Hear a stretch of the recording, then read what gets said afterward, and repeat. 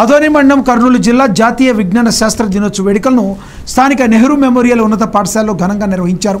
ఈ సందర్భంగా ప్రధానోపాధ్యాయులు హలీం సిద్దిక్ మాట్లాడుతూ పిల్లలందరూ విజ్ఞాన శాస్త్రీయ వైఖరి కలిగి ఉండాలన్నారు. అదేవిధంగా సీనియర్ సైన్స్ ఉపాధ్యాయులు రామయ్య మాట్లాడుతూ నేటి విద్యార్థులే భావి భారత శాస్త్రవేత్తలుగా మారాలన్నారు.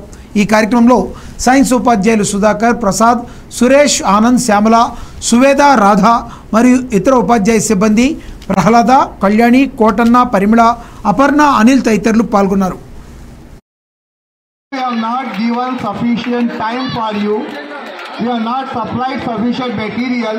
The student exhibited excellently in different. మనము అందించబోవాలి భవిష్యత్ తరాల్లో ఆ విధంగా మన అలా అందించబోయే సైంటిస్టులలో మన నెహ్రూ మెమోరియల్ స్కూల్ పిల్లలైనటువంటి మీరు కూడా ఉండాలని మేము కోరుకుంటున్నాం ఇప్పుడు మొదటగా నిన్న జరిగినటువంటి టెన్త్ క్లాస్కి జరిగినటువంటి పిచ్ ప్రోగ్రాంలో వాళ్ళకి ప్రైజులు Here for all the students who want to do their work.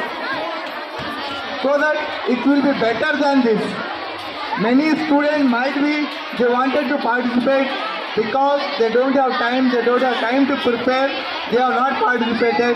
Next time we will make it bigger than this. We will allow many students, more more students to participate. And I also congratulate the science teachers, even though they have very limited time, they encourage the students. They have organized this science fair. Really, after seeing the models and all, it shows the teachers who have motivated the students and the creativity of the teachers and the students. So next time, certainly all the students, you are having the capacity. Every student has the capacity. So what you have to do, you do on your own, whichever you like. You don't see others. You will learn the thing better. When you simply listen, you will not learn that much. When you participate, when you explain to others, when you see yourself and you listen to others about your work, then certainly we will make it a bigger event and all the మనం జరుపుకుంటాం